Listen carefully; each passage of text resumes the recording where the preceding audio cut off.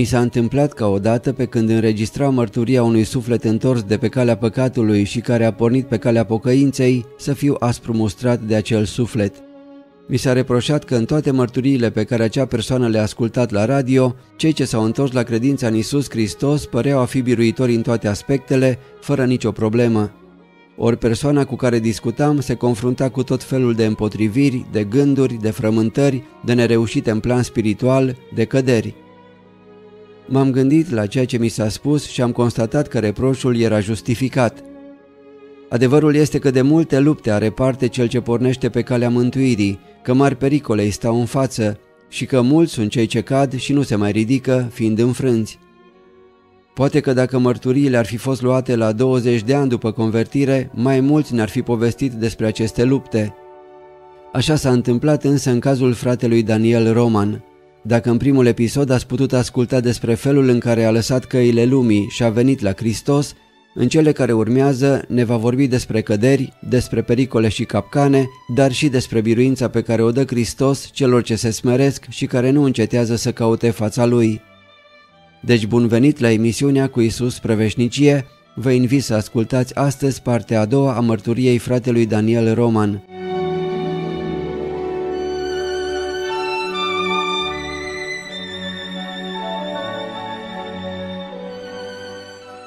După aia singur, când eram acasă, cu lumea mea și cu tristețea din inimă, văzând că nu pot să mă las de păcat, am căzut așa zdrobit înaintea lui Dumnezeu, dar să nu mă vadă cineva că mi-era rușine, că eu mă rog. Și am zis, Dumnezeule, dacă existi, că încă nu eram chiar precis. Atâta învățătură stricată și ne, lucruri rele era în mintea mea și în viața mea și atâta bagaj am dus cu mine.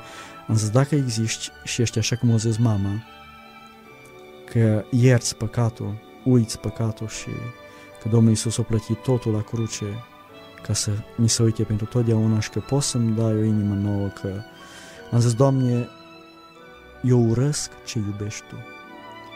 Nu-mi place de rugăciune, nu, nu pot să zic că îmi plăcea deja, dar parcă vedeam ceva în ele, uram rugăciune, eu cu asta am fost, uram rugăciunea, Biblia, pocăința, de a vorbi despre Dumnezeu, uram, era draci din mine.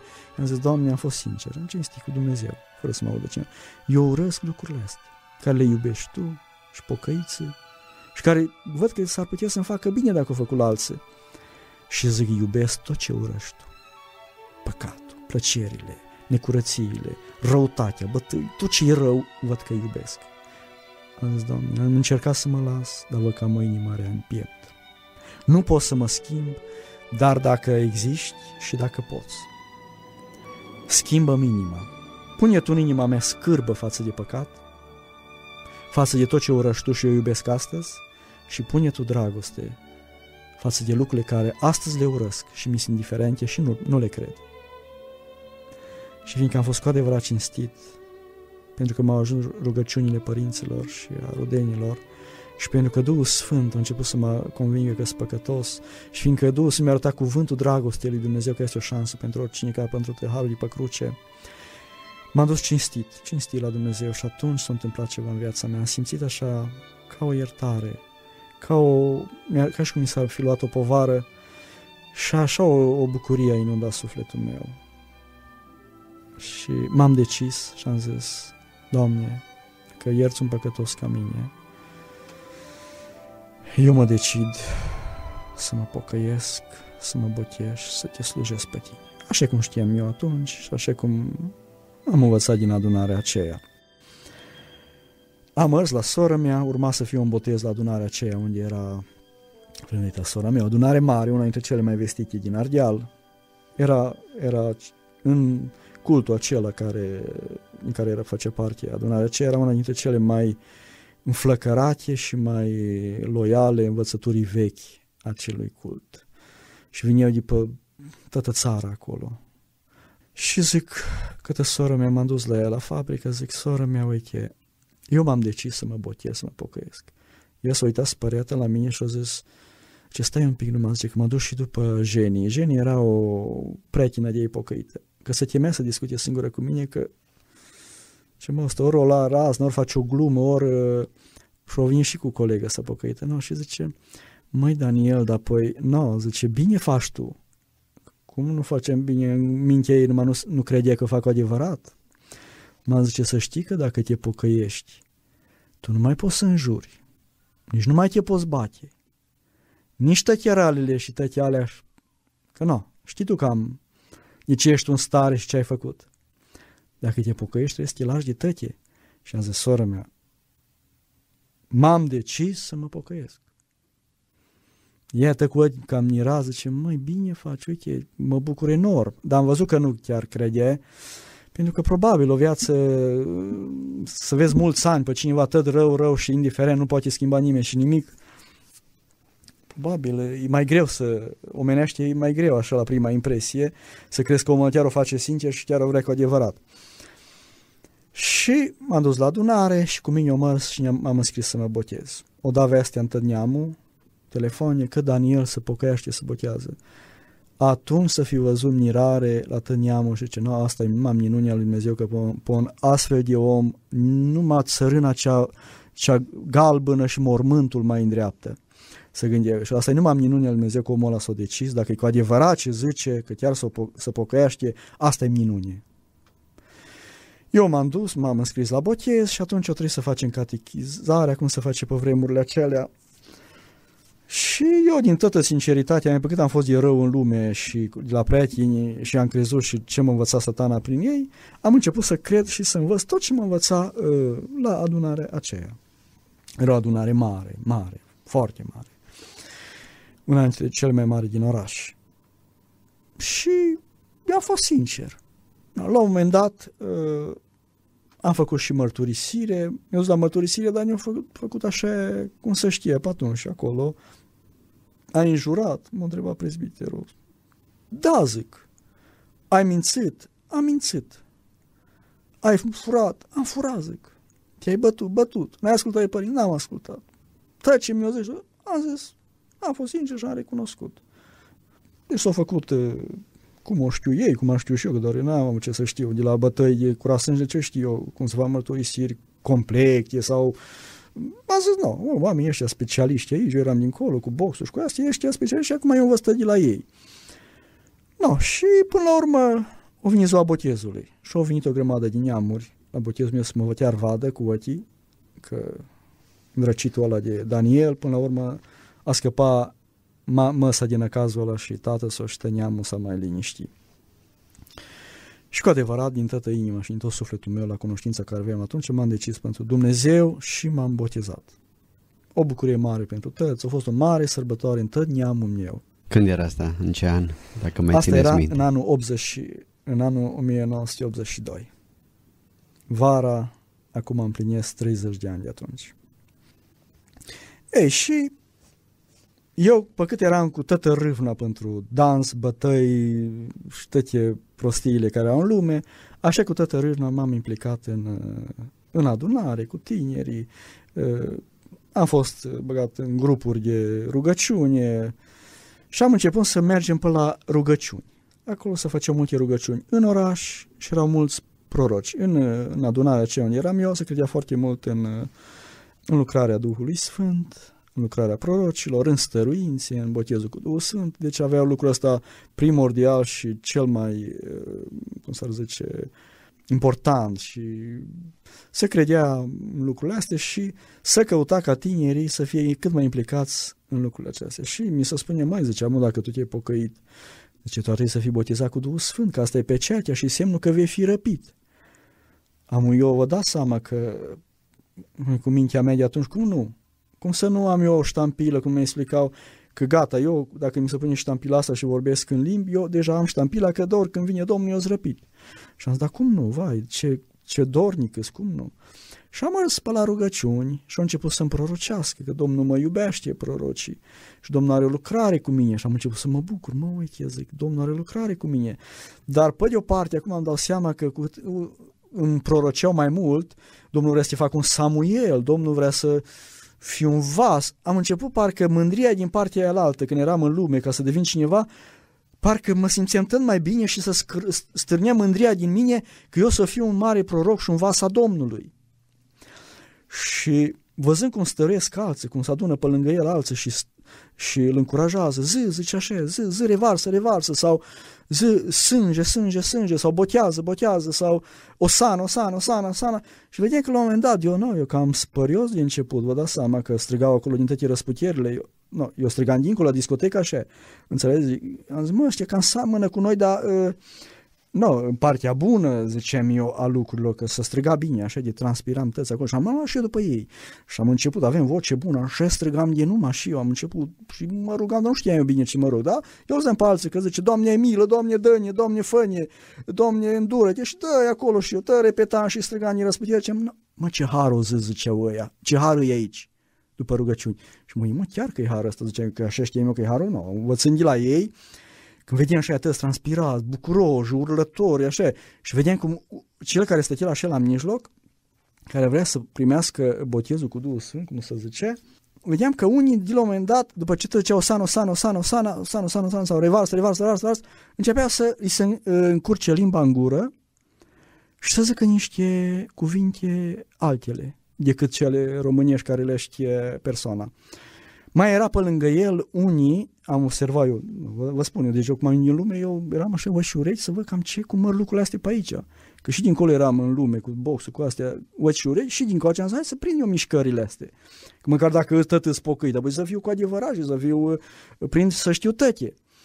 Și vedeam că erau unii mai vârstă sau mai și dintre tineri mai, cum să zic, mai vechi în, în domeniul ăsta, care se rugau tare în limbi, alte limbi. Auzeam că erau limbi care nu știam. Eu știam ceva engleză, ceva franceză, ceva rusă, dar nu semăna nici cu rusa, nici cu franceză. Erau niște limbi acolo, necunoscute. Se rugau tare la urechea omului. Alții strigă, zice că ăla, dă drumul, lasă pe Duhul Sfânt spuneau alții, Al, alții se rugau cu putere în limbi, cântau în limbi la urechea lui. Zic, zic, că bine zici, strigau alții. Eu, de coale, mă, zic, uite. Și se întâmpla că unii s-apucau să vorbească alte, în alte limbi. Câteodată zicea câte un cuvânt, se încurca, mă, și eu zice, mă, uite, mă, că alții reușesc, să știi, mă gândeam eu că și eu nu mă las. Și apoi mă întreba, și mă, pe mine mă întrebau care erau acolo la întrunire, n-ai vrea și tu de la început? Nu. No vedeam că e cam neobișnuit lucrurile astea, mi-a fost cam, uh, am zis, mă, stai să văd întâi. Și văzând că alții reușesc și dacă ăsta e pecetea că eu și ștampila că eu o fi răpit dacă am vorbirea în limbi, am zis, acum nu vrea și eu, că doar, dacă te m-am pocăit, vreau să mă în cer. Dacă asta mai trebuie, asta mai trebuie și atunci eu sunt creștin adevărat, cel mai înaltă forma creștinismului, uh, să fii gata pentru răpire în orice clipă ca ai ștampila. Și băi, când m-a mai întrebat altă dată că frecventat ies, am zis, sigur vreau și eu. Și așa că m-am pus și eu fain frumos acolo în mijloc, tăs pe lângă mine și ce zi, zi zice, uh, tu zi tot un cuvânt, o sana, revarsă, nu știu care precis l-am zis și am început să zic, tot revarsă, revarsă, revarsă. Ăia, unii se rugau în limbi la urechile mele, alții cântau, alții strigau de mama focului, mama focului zic cuvântul ăsta nu trebuia să se poate că nu-i potrivit, dar cântau, strigau foarte tare, foarte tare asta am vrut să spun prin asta. Unii strigau, alții cântau în limbi, alții la urechi zice, zi, zi, zi, zi, zi, zi că Domnul îți dă, zice, Domnul îți dă. Și te zicând, Osana, Osana, Osana, am început să văd că zic, ni se încurcă limba în gură. Zic că Domnul te dă, te botează, te botează. Și am început să zic ce mi se încurcă limba în gură, să zic. Cuvinte care nu le, nu le ziceam înainte. Domnul ți-o da, Domnul te-o boteza, tăți bucuroși pe lângă mine. Și am început să zic ce îmi venea. No, eu, după ce dura multă rugăciune, atât eram transpirat și cu strigăte mare erau stăruințele alea, cu... Tăți m-a, m-a felicita și mi-a zis că uite, ai fost botezat cu Duhul Sfânt, acum ești tampilat, ai pe cetea și acum Domnul Iisus oricând vine, tu mergi acasă. Eram foarte bucuros. Și parcă eram și mândru că uite, în atâta scurt timp eu ce am realizat. Frecventam adunările, mergeam regulat și regulat am început să mă duc și la proroci. Era mai mulți tineri care avem tare mare dorință să auzim mereu prorocii, să ne vorbească Domnul ceva. Și în special Domnul mereu, pe vremea ziceam noi, că ne vorbește care o lucrare cu noi, că ne iubește, care un plan deosebit. Și mai merem la altul și până la tăcam așa. Numai încurajări că ce lucrare mare are Domnul cu noi. Dar s-a întâmplat ceva. Cred că satana, văzându-mă atâta de hotărât, o zis, las că las eu pe băiatul ăsta o vreme, dar apoi mă ocup eu de dumnealui. Au început vechile lucruri să apară, patim pofte, să mă caute. Eu, ne fiind învățat că Duhul lui Dumnezeu te eliberează și cuvântul adevărului, că ceea ce a făcut Domnul Isus, pricep eu astăzi la cruce, mi duce mie eliberarea, că acolo a învins satana și puterea firii prin cruce. Eu am încercat să-mi țin legământul care l-am făcut. Că eu zic că am făcut un legământ și așa să vorbea acolo, că faci un legământ cu Dumnezeu că îi sluji până la capătul vieții. Și am vrut să-mi țin un legământ. Numai problema e că am vrut să țin prin puterea mea. Prin puterea care am zis pe cuvântul meu, că o să fiu bun, nu o să mai fac alea și alea, am un mai zis pe cuvântul meu. Dar am zis, vreau să-mi țin legământul. Și m-am început să cad înapoi în vechi patii, vechi păcate. Dar acum deja mă întristam, mă amăream, cum zic, eu care m-am pocăit, să fac iară. Plângeam și ziceam, nu mai iadul merit și eu nu sunt bun de pocăit. Dar, mărgând cu tinerii la rugăciuni, îmi așa câte o prorocie, Domnul te iubește, Domnul uh, are un plan cu tine, Domnul îți va deschi, pune în cale o ușă deschisă. Atunci mă simțeam iertat și că mă iubește Dumnezeu. Așa știam eu la vremea aceea. Am început să cat mai des. Și tot mai trist, tot mai amărât pentru că Duhul lui Dumnezeu din mine, chiar dacă avem o învățătură uh, o învățătură legalistă, deci prin lege vreau să fac voia lui Dumnezeu, prin puterile mele, totuși am fost sincer cu Dumnezeu și Dumnezeu și conștiința mea, în conștiința mea Dumnezeu mi-a arătat, e păcat și atunci am început să îmbăt cu adevărat păcatul. Înainte am văzut că e rău ce fac, e ca tot omul, că și mulți oameni care stau de vorba asta, zice, da, rău e de fapt, nu. Când bat nevasta sau că beau și că l-am bătut și pe vecin odată, nu a fost un lucru, recunosc că e rău, zice, în fața lui Dumnezeu. Dar după o jumătate de an l-am auzit că s-a bătut cu celălalt vecin, pentru că omul are ceva în conștiința lui și știe că e rău. Și cam așa am fost și eu când m-am, m-am botezat. Știam că sunt lucruri rele, dar să văd păcatul, cât e de păcat, dar să văd mai mult decât atât, cât e ziua de păcătos, n-am văzut decât când am început să cad și când deja știam cuvântul lui Dumnezeu, că cu lucrurile alea nu pot sta în fața lui Dumnezeu. Și nu avem calea lui Dumnezeu de eliberare. Nu știam că pot să mă duc ca un copil la tata, așa sărac și gol ca să mă îmbrace el. Nu știam că deja problemele s-au rezolvat la cruce, când Domnul Iisus a murit. Atunci am fost învins satana care încă mai lucra în viața mea pentru că el nu ne fiind dat pe față printr-o mărturisire completă tot ce am făcut cu el și nu m-am întrebat, ai furat, furat, ai mințit, am mințit. N-am mărturisit tot ce era întunecos în viața mea, ce am făcut de mic până la vremea aceea. El avea în viața mea niște cârlige și la, el m-a lăsat liniștit o vreme, după aia nu mă trăgea de, cum duci vaca de lanța și mă trăgea la păcat. Și fiindcă era puterile răului, și eu n-avem cuvântul lui Dumnezeu prin care să-l biruiesc, mă biruia de foarte multe ori. Eram atât de trist și amărât și diavolul zice, pentru tine nu este șansă. Tu nu poți să fii niciodată problemă, bine las-o baltă. Dar doream totuși o viață nouă și meream la rugăciuni. Asta era salvarea pentru Să mă la rugăciuni, la prorocul ăla, la prorocul celălalt, cu alții și acolo și alții mă îndemnau, cum mă vedeau triși și nefericit, du-te ce la un proroc să-ți vorbească Domnul. Și acolo, printr-o prorocie, mă ridicam, iar întrece tot, iar era bine, iar în misiuni cu, cu tineri, mereu spuneam la alții, îndemnam pe alții, la un moment dat început să citesc Biblia, foarte cu râvnă, dar din păcate o citeam ca să pot predica la alții, să le rău rău din viața lor. Și mi-am dat seama că satana mă pot să citesc așa. Și într-un târziu a zis, Doamne, eu mă las, mă pocăiesc de a citi Biblia ca să le spun la alții. Ar vrea să citesc Biblia, că pentru mine, pentru că meream în misiuni, predicam, meream la stăruință și ajutam pe alții să primească, cum ziceam eu atunci, Duhul Sfânt, cum primeam eu, prin acele stăruințuri, prin acele metode de revarsă, o sana, sângere, să te repeți până ți se încurcă limba în gură și noi ceilalți la urechea lui cântam în limbi, vorbeam în limbi, uh, căutam să-l încurajăm în lucrul ăla, că credeam eu că așa să primește Duhul Sfânt. Așa credeam pe vremea aceea. Dar astăzi nu mai cred așa. Că așa să primește pentru că nu-i biblic felul ăla și nu aduce rezultate în viața oamenilor. În viața mea nu a adus deloc. Din potrivă, căderile mele au început să devină tot mai mari și am ajuns la un moment dat atât de disperat și atât m-a acuzat satana, zice, tu nu poți, mă, tu să scapi din mâna mea care a fost prieteni atâta timp și mai ascultat și vezi tu cum iubești păcatul. Era atunci am văzut că era mine un om nou care ura păcatul, cunoșteam legea lui Dumnezeu, dar nu avem puterea și nu avem cheia, nu avem cheia cuvântului și adevărul Dumnezeu ca să devin liber. Și am ajuns atât de disperat că am vrut să-mi și pun capăt vieții. Am zis, cât așa, mai bine mă sinucid. Și totuși era membru într-o adunare, una dintre cele mai mari adunări din orașul acela, cea mai vestită din Ardeal și foarte cunoscută în uh, toată România. Acolo se făceau vindecări. Vindecări, oamenii vineau cu canceruri și mergeau acasă sănătoși. Și eu cred că pe vremea aceea nu prea își permiteau să joace teatru, să făceau vindecări. Că atunci comuni- securitatea te prindea repede. Eu cred că se întâmplau lucruri acolo. Dar noi tinerii de acolo eram animănoi. Nimeni nu știa că de fapt eu aveam gândul să mă sinucid, fiindcă nu pot să trăiesc pocăința și legea lui Dumnezeu. Dă-te mâna, pace frate, unii mei la rugăciuni, dar nimeni nu-l interesa cu adevărat viața mea.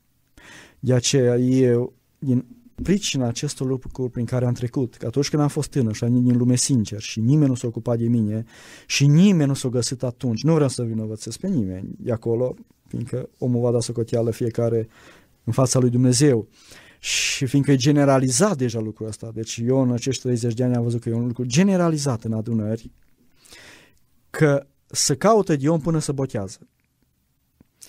Să umblă pe lângă el, să catechizează, să face tot ce se poate, să botează, fie clar că se botează, până la botez, eventual ceva după botez un pic, dar în general numai după botez lucrurile deja îs gata. S-au rezolvat ce s-au rezolvat conducerile adunării, prezbiterii care tot s-au ocupat până la botez, ce cine au învățat, ce s-au ocupat de noi, parcă am văzut că și-au făcut datoria și după aia ne-au lăsat baltă și nu eram numai eu, ci eram o grămadă de tineri în felul ăsta care habar n-aveam ce dreapta de stânga în cele spirituale. Nu știau că eram aproape de, de a mă omorâ singur, de a-mi pune capă vieții, pentru că nu puteam să trăiesc viața creștină, pentru că nu cunoșteam cuvântul lui Dumnezeu, ci căutam să țin un legământ prin lege, cum au ținut de atâția mii de ani evrei și nu a putut nimeni să o trăiască. Că altfel n-ar fi venit Domnul Iisus să moară pentru noi. Dar eu nu știam lucrurile alea atunci. De aceea, pentru că eu am fost atât de chinuit de necunoaștere, îndemnul meu este dacă cineva va asculta această mărturie la radio și cumva Dumnezeu te va folosi ca să pocăiască oameni prin tine sau dacă cumva ești într-o adunare și ai posibilitatea să împlinești și cuvântul ăsta care cel mai mult nu e împlinit, foarte puțin e împlinit, care o Domnul Iisus, faceți ucenici din toate neamurile. Botezați-i numele Tatălui, a Fiului și a Duhului Sfânt, dar învățați-i să păzească tot ce v-am poruncit eu. Apostolul Pavel zice la Timotei, lucrurile acestea care le-ai văzut la mine, le-ai auzit la mine, încredințează la oameni din credere, care să fie în stare să învețe pe alții. Învățătura cea mare nu-i până la botez, ci după botez. Și lucrul ăsta nu se prepractică și eu sunt foarte, foarte uh, îngrijorat pentru mulți tineri și pentru multe persoane care merg cu sinceritate, cum am dus eu, se botează, merg într-o adunare și apoi rămân pe seama nimănui rămân copilași și bebelași toată viața sau rămân sub teroarea acuzatorului satana care îi târaște în păcat, după aia acuză. Vezi, ai păcătuit, tu nu ești bun, ăștia îți, tu nu ești bun. Mai bine lasă și mulți și pleacă. Și se întorn apoi în lume și vina cea mai mare nu este a lor, a celor care pleacă, ci este a celor din adunare, prezbiterii adunării. Oamenii mai maturi din adunare, nu numai prezbiterii, ci toți care au cunosc pe Dumnezeu, care trăiesc cu Dumnezeu și ei nu se gândesc că tinerea care vin în niște bebelași, așa cum un bebelaș are nevoie să fie schimbat scutecele, să-i se dea lapte, așa cel tânăr în credință, cel care vine pentru început, are nevoie de o îngrijire din afară, să fie învățat cum Domnul Iisus, învățați-i. Și eu sunt uh, foarte decis că atunci când am ocazia să spun tuturor care pot să fie niște învățători, nu învățând teorii din Biblie, ci învățând pe oameni cum să-L cunoască pe Domnul Isus. Învățând pe oameni cum să fie liber față de păcat, cum să fie liber de duhurile rele, cum să poată trăi o viață nouă. Deci eu ajungând în, într-o stare așa disperată, o cunoștință de-a mea cunoște în uh, orașul acela un om care, după meleagurile sălajului, s-a pocăit el. Era copil de învățători. Eu au avut, Dumnezeu într-un mod deosebit și înainte, s-a pocăit, părinții l-au aruncat de acasă și prin el s-a pocăit o grămadă de colegi, s-a pocăit și secretarul de partid pe școală prin el. Deci avea o mărturie deosebită și a fost un pocăit adevărat și la locul ei era prieten cu o cunoștință de mea. Și văzându-mă la zbuciumurile și bănuind că eu nu știe nici ala să mă ajute, o să hai să te duc eu la cineva. Și mergând acolo la fratele acesta, care avea totuși o altă inimă și pentru tineri, spunându-i așa un pic din problemele mele, foarte puțin, ăla m-a cam citit, a început să-mi arate că degeaba mă străduiesc eu cu puterile mele să înving firea pământească, patimile, poftele, ci Dumnezeu le-a rezolvat deja la cruce și mi-a citit Roman capitolul 6, unde omul nostru cel vechi a fost răstignit împreună cu Hristos. Că acolo a murit omul ăsta vechi care astăzi caută să mă tărască în păcat. Nu eu să-l omor și să-l țin în stăpânire, ci pe cruce când Domnul Iisus a murit, purtând omul nostru cel vechi, așa hotărât Dumnezeu, ca și cum într-o carte pui o foaie, închis cartea, faci un pachet și o trimis la Roma, la Roma n-ajunge numai cartea, ajunge și foaia, ca așa am decis eu. N-ajunge numai foaia, ajunge și carte. Deci destinul cărții și a foii sunt legate pentru totdeauna. Deci Dumnezeu a decis în înțelepciunea Lui, care pentru lume e o nebunie, cum adică eu să fi murit față de păcat am 2000 de ani, până a murit Hristos. Asta mi se, omenește mi se pare un pic cam... Uh, dar Dumnezeu zice că dacă El a vrut și El declară, care nu poate să minte, că omul nostru cel vechi a fost răsnit împreună cu Hristos. Așa cum pui o foaie într-o carte, așa a fost spus omul nostru cel vechi în Hristos și Hristos a luat asupra lui tot ce a rezultat din primul Adam care a păcătuit, firea adamică și a răstignit-o Dumnezeu acolo când l-a răstignit pe fiul lui, l-a dus cu el în moarte și l-a îngropat. Și dacă, așa după cum Hristos a înviat din most spre slava Tatălui, tot așa am înviat și noi la o viață nouă. Și în Romani, capitolul 6, îmi spune fratele ăla, socotiți-vă morți, spune cu versetul 6, față de păcat. Și vii pentru Dumnezeu în Iisus Hristos din pricina morții tale împreună cu Hristos la cruce. Pentru mine lucrurile astea au fost, cum să vă zic, n-am auzit de când de ziua. Nu că nu se citea în adunare, Doamne, că erau predicatori acolo și proroci în adunarea noastră de vestiți, dar nimeni nu mi-a explicat, citeau ei de pe acolo, ah, ca și cum ai citit la radio, cum ai ascult radio și nu auzi ce zice. Înțelegeți? Doamne, zic, dar hai ceva n-am zis când zic, cum adică? Nu trebuie să strâng eu din pum și să mă uit numai în jos și să crâșnesc. Nici vorbă, zice că vei muri tot în păcatele tale. Deci o rezolvat Dumnezeu problema. Tu n-ai nimic de rezolvat decât să crezi ce o zis El și să accepti în viața ta și să mărturisești adevărul ăsta că vine satana să te trăiască înapoi în păcat. Asta, Doamne, astea lucruri mari. Așa ceva, n-am mai auzit de mi se pare. Am zis, Doamne, dar totuși e fain așa. Adică nu pun puterea mea să strâng eu din pumn, să scrâșnesc din din, să, să, să rezolve, să mă schimb. Ci prin puterea lui Dumnezeu, e o lucrare a Lui făcută și eu trebuie să o primesc. Când primește o, o, o, un copil, o, când îi dă tată sau o, ceva, Zic că asta e mare lucru. Ai fain ar fi, am să zic eu. După ce mă chinui satana atâta mare de timp, cum nu era frumos să scap prin puterea lui Dumnezeu? Și bucuros m-am dus. Și am zis, slavă Domnului, în sfârșit Dumnezeu s-a îndurat de mine, că El nu numai m-a iertat de păcate, ci o rezolva și cu fabrica păcatului, cu omul cel vechi, că l-a răstignit la cruce, cum zice fratele. Atunci, bucuros o vreme, dar ispititorul care își face meseria și o va face până la sfârșit, a venit înapoi cu gânduri. Și eu nu știam că gândurile care îmi vineau necurate și de ispită, nu știam că nu sunt mele. Eu credeam că eu gândesc așa. Zis, Doamne, da, uite, uite ce gânduri necurate îmi trec pe minte. Uite ce lucruri. Doamne, înseamnă că eu nu spun. Înseamnă că fratele ăla poate trăi așa, pentru el e valabil, dar pentru mine ce nu e valabil? Dar scrie negru pe alb acolo în Biblie, că a murit omul nostru cel vechi. Dar de ce eu nu vin gânduri așa necurate și reale ca pe vremuri? Înseamnă că pentru mine nu, înseamnă că eu nu sunt bun. Ce satană, nu, nu e de tine, zice astea. Tu ești prea rău tu, zice, n-ai nicio șansă. Și am zis, Doamne, dar ai milă și de mine cumva, că eu nu mai pricep. Ai milă și de mine. Cum de oamenii ăștia ai putut avea milă și pentru ei valabil ce au făcut la cruce Domnul Iisus cu omul lor stricat și pentru mine nu. Și atunci Dumnezeu a început să-mi descoperă că așa cum zice Apostol Pavel, nu toate gândurile care le ne vin în mintea noastră sunt ale noastre. Apostolul Pavel spunea, noi răsturnăm izvodirile minții și orice gând îl facem rob ascultării de Hristos. Și a început Dumnezeu să mă învețe că în mintea mea satana pune gânduri tocmai ca să poată, eu dacă le accept că să meargă, să mă poată acuza că eu am gândit așa și eu de fapt nu pot să trăiesc viața creștină. Și Dumnezeu, când m-a dus sincer și am zis, Doamne, ce cu mine? Eu nu pot trăi ca oamenii ăștia?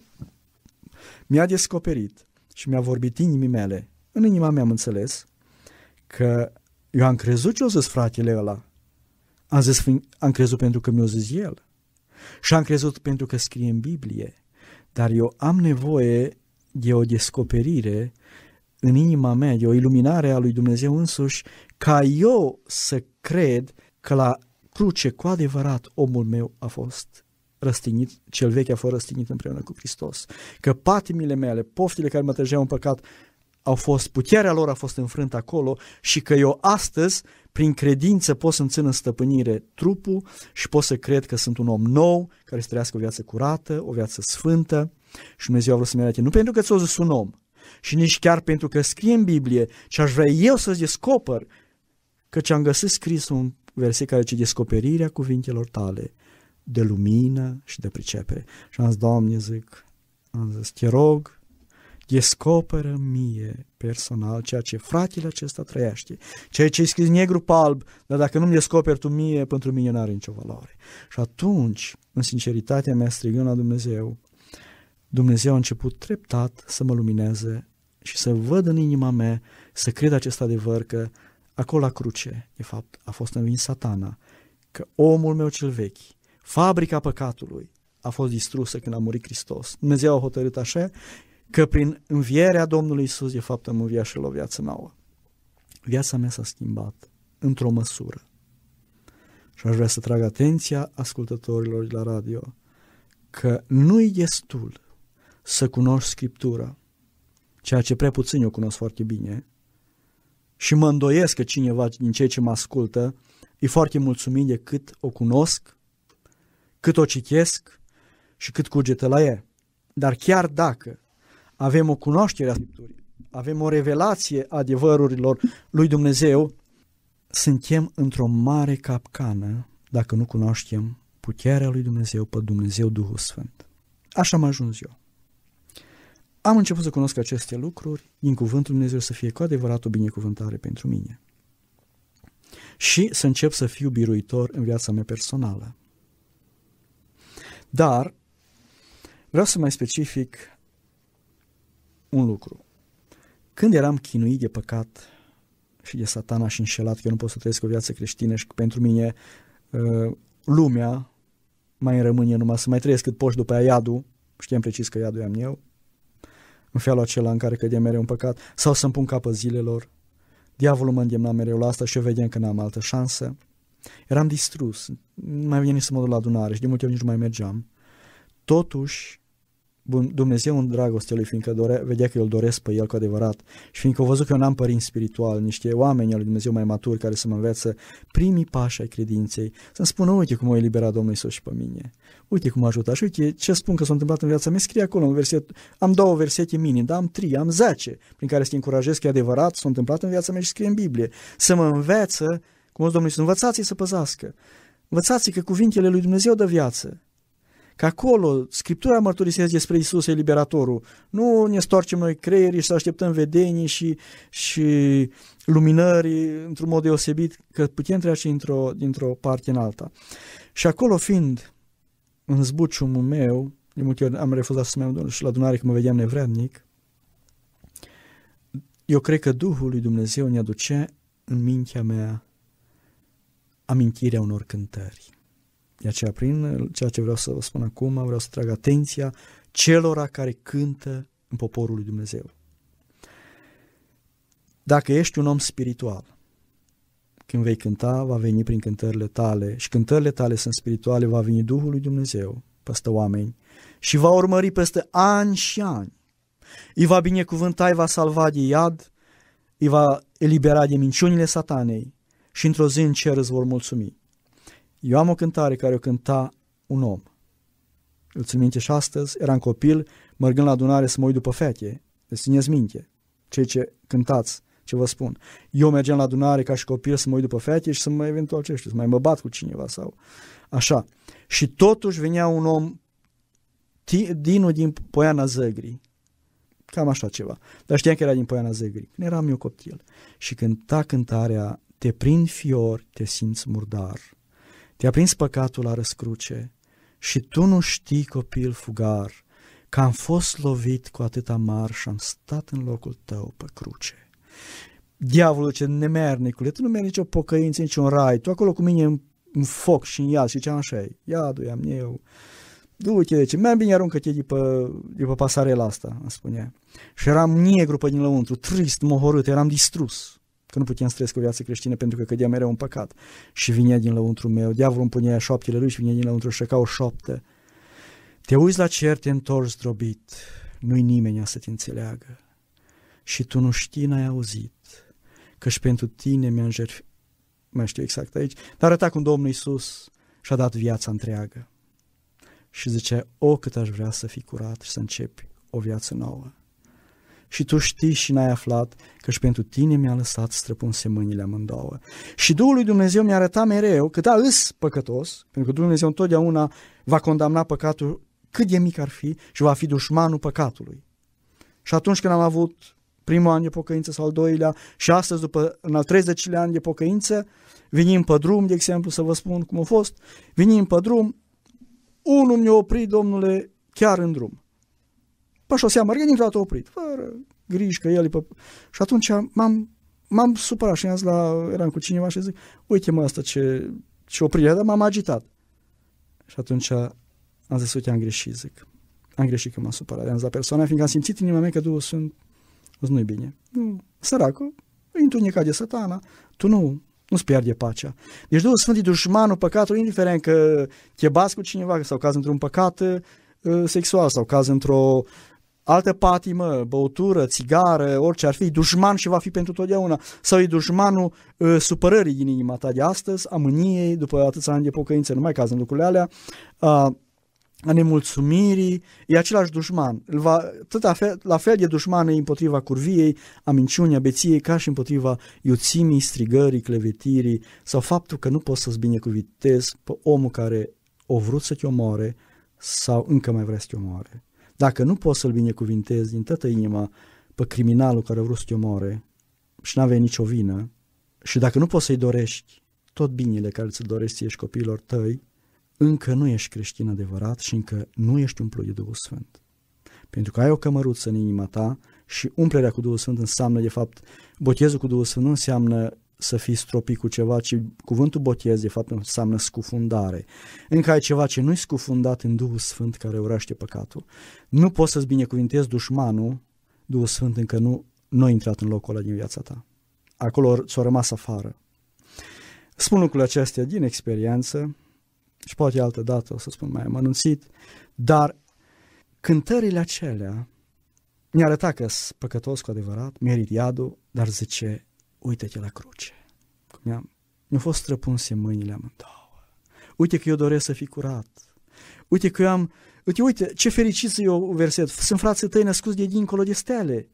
Zice, și tu nu știi, și tu nu vrei să întinzi doar mâna și să iei ofranda îndurării mele. Și eu cu legi, dar păi voi hotărâi, voi face, voi ține legământul, înțelegeți? Eu cu no, mii de ani ori eu și oameni să țină legământul legea lui Dumnezeu și eu mă străduiam eu nenorocitul care alții au umblat toată viața în sinagogă și nu puteau să trăiască toată legea. Eu din discoteci, din bătăi și din astea am vrut să țin eu.